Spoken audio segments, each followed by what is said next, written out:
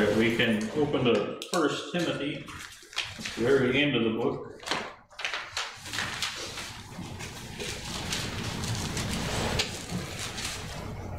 First Timothy in chapter number six, let's look at the last two verses of Paul's letter to Timothy here.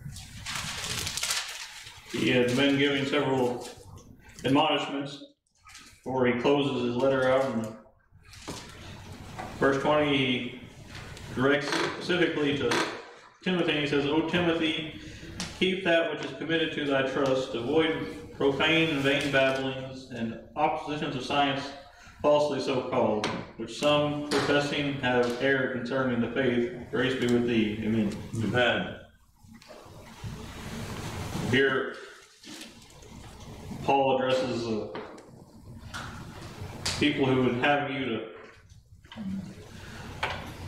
really doubt the Word of God and doubt your faith, and who would try to cause you to err from the faith, as he points out in verse 21.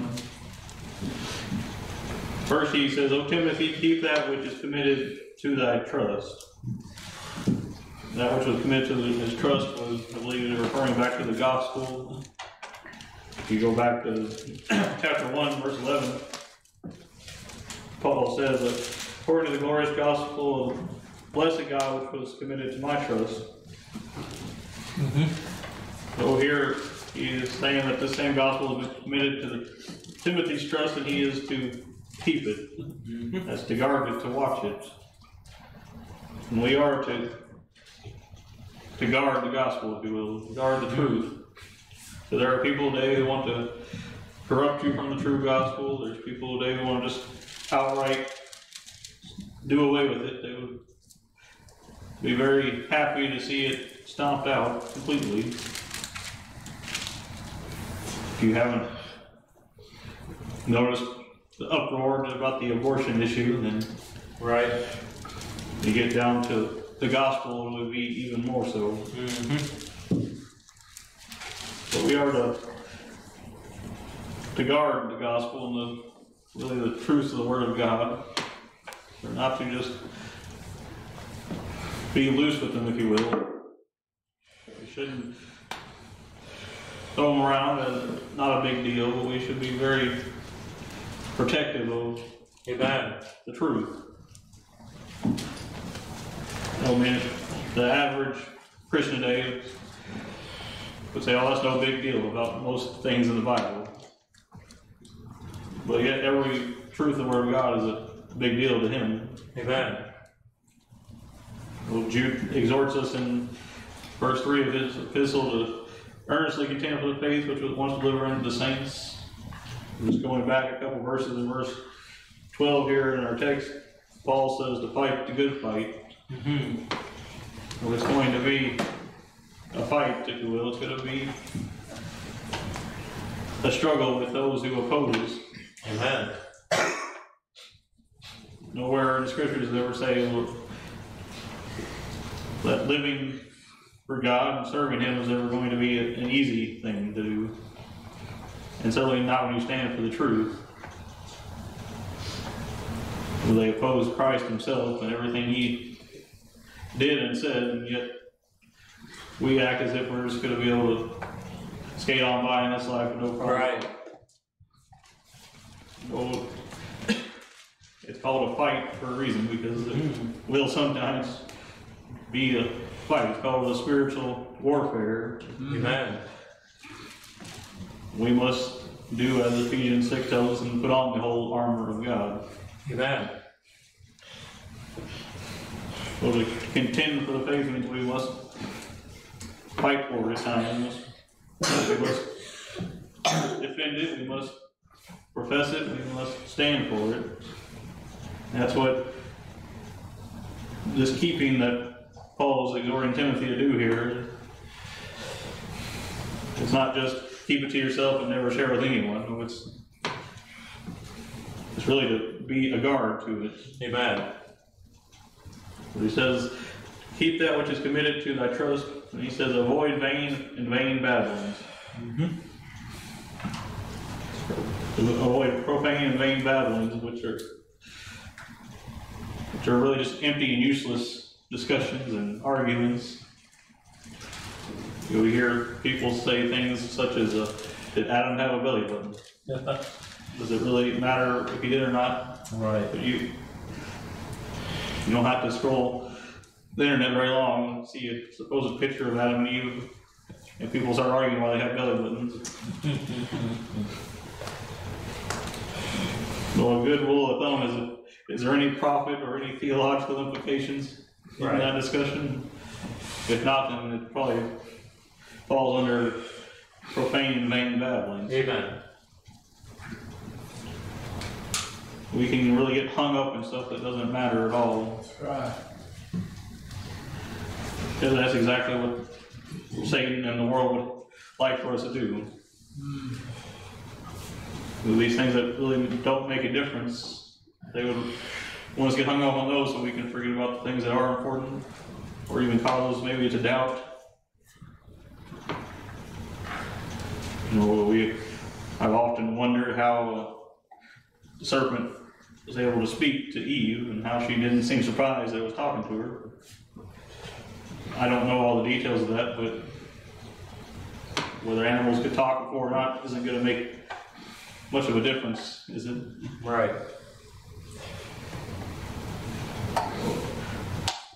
But we need to be careful about the discussions we engage in. Amen. If it's not edifying to the saints and glorifying to God, then it's probably something we should avoid. Paul, even in his second epistle to Timothy, in verse 16 of chapter 2, he says that chapter 2, verse 16 of 2 Timothy says, But shun profane and vain babblings, for they will increase into more ungodliness. Right. Well, it must be that they're already ungodly to begin with, and he says they're just gonna add more ungodliness. They're not of any profit to a child of God. And you're never going to convince someone who is trying to discredit the, discredit the word of God by such arguments anyway. Mm-hmm. Then he goes on to say, after avoiding profane and vain babblings, he says, and oppositions of science falsely so called. Amen. The oppositions of science, man uses quote science and his own knowledge to try to oppose God's word. That's it. That's a very common tactic today. Just listen to the science, they say. And yet they don't even follow science all the time themselves. Exactly. So creation versus evolution has been a, a big one in recent times. And I'm afraid if we don't stand for that truth, then one day Christians will say, well, it's really no big deal. Right. But there are lots of implications if creation isn't true. There had to be a historical Adam who sinned and really plunged all of humanity into Amen. the curse. There was death and suffering before sin entered the world, then God's word is a lie. Mm-hmm. There's so many issues when you embrace, or when you embrace evolution. Right. They're just simply not compatible with the word of God. Amen. It's, it seems like currently one of the upcoming things is homosexuality and transgenderism. Oh, Lord. and abortion to go along with that too, but people don't even embrace this, the basics of biology anymore, and yet they try to Exactly. say, use science to say that, well, the Bible's way is old-fashioned or outdated or not true. I had to share this with you because I'm still flabbergasted by it. The other day, I was on, I think, Facebook, and uh, someone was arguing that women can have a prostate. They clarified some women can have a prostate. They. No, I'm, engineering is my specialty, but I know that there's not a single woman on the face of the earth that has a prostate. Either a man that has a uterus, and There you we go. don't have to go any more detail than that, but I think you'll get the picture. There's, no man's ever given birth that's given to women. Exactly. There's so much foolishness that goes on today, and yet they want to claim that science somehow backs their, what they have to say. But those are the type of oppositions that are gonna come up when you proclaim the truth of the word of God. When it comes to abortion, they'll say, well, it's just fetus or a clump of cells or something. Well, in all technicality, we're all just a clump of cells, just a bigger clump than when we were first conceived. Don't let people use science to try to persuade you to just believe the word of God.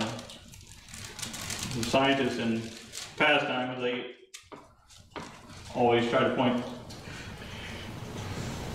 to use science to point to what God said, not the other way around. Right. Now scientists use it to point to their own ideas. I do want to bring up one thing that's something we don't think about much, but in times past, you've had arguments about what was called geocentrism versus heliocentrism. Is the Earth the center of the universe or is the sun? We all might think I'm crazy, but I think the Bible teaches that the Earth is in the middle, but science will not tell you that. Right. Well, God's word says the sun stood still in the day of Joshua, not the earth. Mm-hmm. It says in Psalm 19 that the sun going out and coming in has a circuit that it continues on, but just those little things we say, well, Earth's no big deal, and then we end up with, now we have such things as evolution, which is, is a big deal. Right. Not, we're not careful, I future generations of Christians will say, well, that's no big deal. Mm-hmm. No, we, we need to guard the truth of the word of God. If not, men will creep in unawares and teach heresy. Mm-hmm. Peter warns us against that. Peter, fact, talked on this a little bit in Second Peter. Second Peter in chapter number three.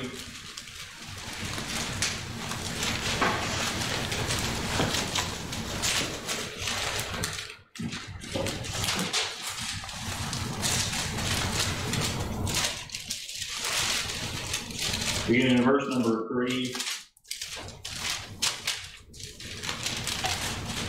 Second Peter. He says, knowing this, that there shall come in the last days scoffers walking after their own lust, and saying, Where is the promise of his coming? For since the fathers fell asleep, all things continue as they were from the beginning of the creation. For this they are willingly ignorant of, that by the word of God the heavens were of old, and the earth staying out of the water and in the water, whereby the world that then was being overflowed with water perished. Mm-hmm. But the heavens and the earth, which are now kept by the same word, are kept in store, reserved in the fire against the day of judgment and perdition of ungodly men. Mm-hmm. And here, he says that scoffers were going to come and saying, well, all things are continuing as they were. Well, in this, they deny that there was a global flood, and that's by and large denied today. Exactly. And so, well, it's just not possible. It is quite possible, but Mm-hmm. if God's word says it is, we are to believe it whether science can prove it or not. There you go. Amen. Well, they don't understand how the Red Sea could have parted and they walked across on dry land. I've heard all sorts of different arguments from science of how it could have happened, but no one will follow what the scriptures say. Right. Scriptures say that God sent a strongest wind and it parted. Mm-hmm. And they didn't walk in the muck and the mire and the mud, they walked across on dry ground. Amen. It came back over top of Pharaoh and his army. And it was from the blood of that army that it got the name Red Sea. but yet, man has all his own ideas of how things happen. They deny those such things and the flood, and they doubt that Christ will ever come again or that there's a coming wrath upon this world. And they say, well, all things are just continuing as they are. If you listen to scientists now, well, global warming is going to kill us all. I always joke that it's going to get warm one day, but not the way they mean it. Right. So warm that the elements shall melt with the fervent heat, and the earth also shall be burned up and the works therein. There you go. Peter says that just a few verses later on in this same place. Let's go back to our, our text here in First Timothy, and we'll finish up. After he gives these exhortations to avoid, or really to guard the truth, and to avoid these vain, profane babblings and oppositions of science, he says, verse 21, which some professing have erred concerning the faith. Mm-hmm. He says some that profess to believe they have erred because of these things. And if you're not careful, you could very easily fall into these as well. It's not above the child of God to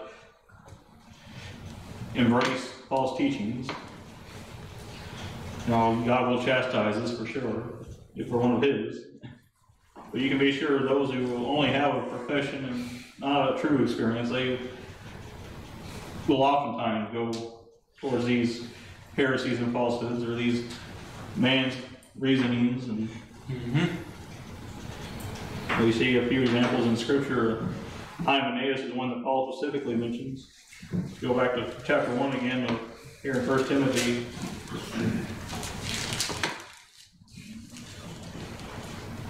Here he says in verse 19, says, holding faith and a good conscience, which some have putting away concerning faith, have made shipwreck. Mm-hmm. Of whom is Hymenaeus and Alexander, whom I have delivered unto Satan, that they may learn not to blaspheme. Amen. Paul describes as Hymenaeus and Alexander, they've made shipwreck of their faith, he says. It's not that they were saved and then lost, but of faith itself, it says they had made a mess of it, if you will, and come to the point where they blasphemed. If you go on over to Second Timothy, he speaks on this Hymenaeus again. Second Timothy chapter two.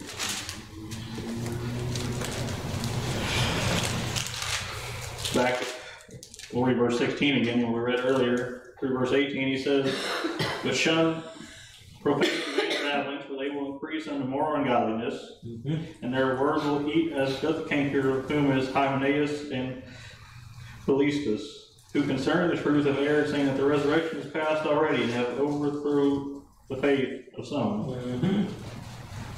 Because Hymenaeus had given in to these profane and vain babblings, and Right. to the point where he was saying the resurrection was already past. I don't know if he was a, a saved man or not, but if he was, he was sure messed up in some stuff.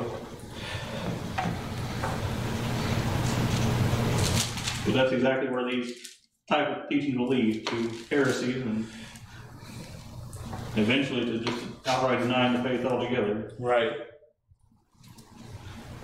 You, we see this very clearly in our own time with, such as that quote church in Madisonville that first they began to doubt what day of the week we should worship on. Actually, really, they first they began to doubt the sufficiency of God's word and went after their own Right. interpretation. Then they went to worshiping on Saturdays, and then now they're all the way down. They've denied Jesus altogether in the whole New Testament. That's it. That's exactly where these type of teachings and arguments will lead to. Amen. You're right. Man's teachings were never designed to lead us closer to God.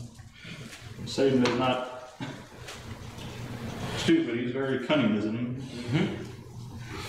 He knows if he gets us just to doubt a little bit here and a little bit there, he gets us a little inch here and a little bit there, before, before long he'll have us doubting everything. There you go. faith.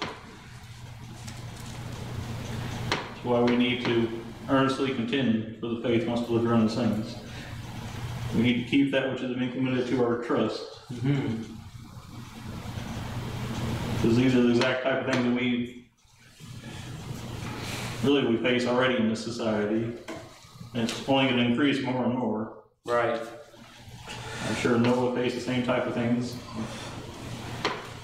When he said, well, it's going to rain for 40 days and 40 nights. There's, well, there's no such thing as rain. Right. You can never do that.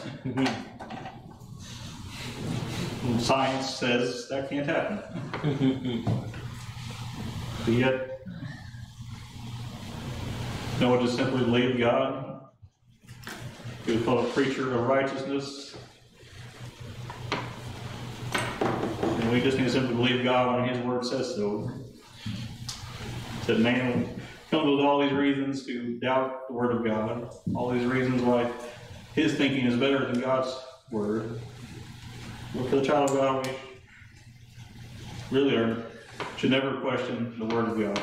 Amen. We should question our understanding sometimes. Mm-hmm. But when his word plainly says something in black and white, we shouldn't say, well, maybe it really meant this. Right. Isn't that the tactic Satan has used from the beginning? You're right. Amen. If God not say, it's always been to question the word of God. That's it. And that, I'm sure will be his tried and true tactic all the way to the end. Amen. Sure. So let us just simply believe God in his word and earnestly contend for whatever his word has said. Whether it's popular or not, whether it's man's reasoning can understand it or not, we must simply take it by faith. We'll close with that thought. Amen.